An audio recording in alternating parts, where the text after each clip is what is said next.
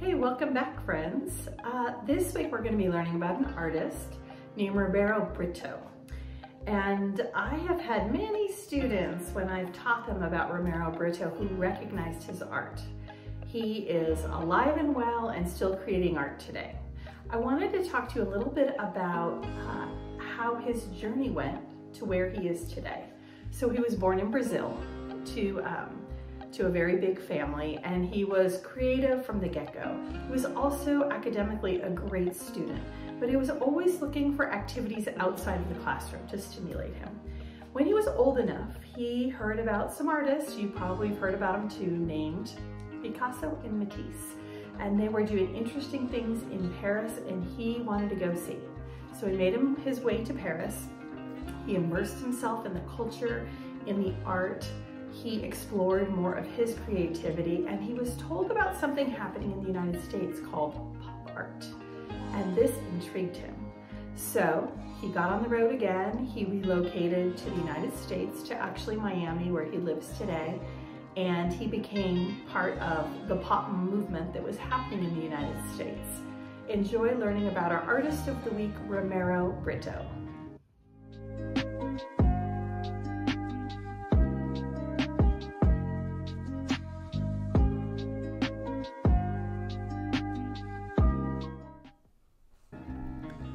Romero Britto was born in Brazil and settled in Miami.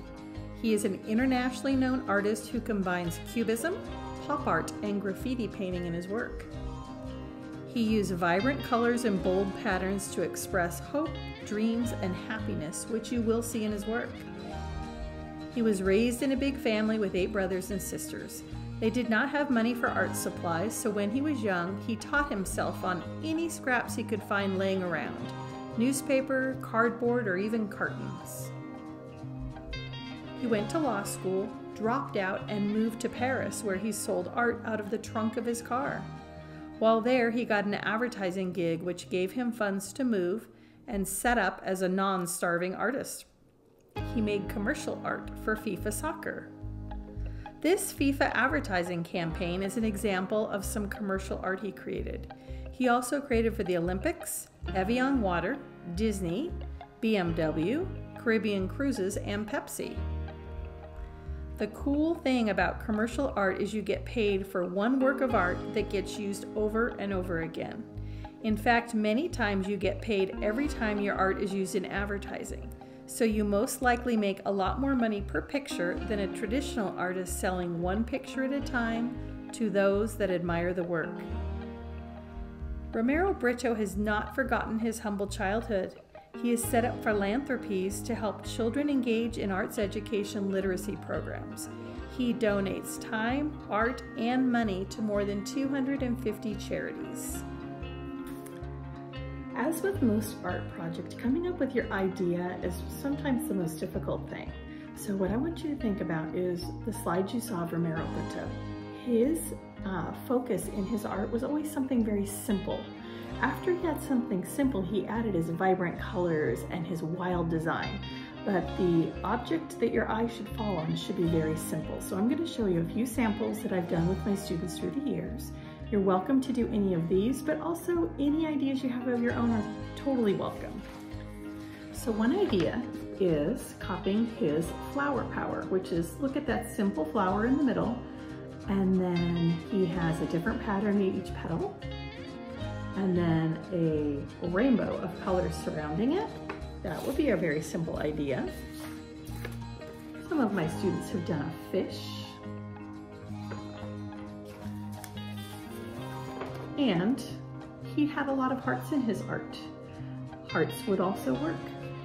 So I want you to think about, before we get started, what you would like to do as your focal point. I'm gonna think about mine and we'll get back together in a moment and start working on it.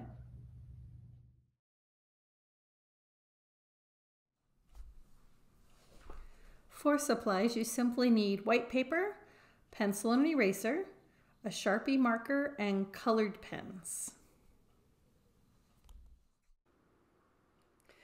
All right, so I'm putting it on pretty quick speed, but all I want you to think about is your simple object.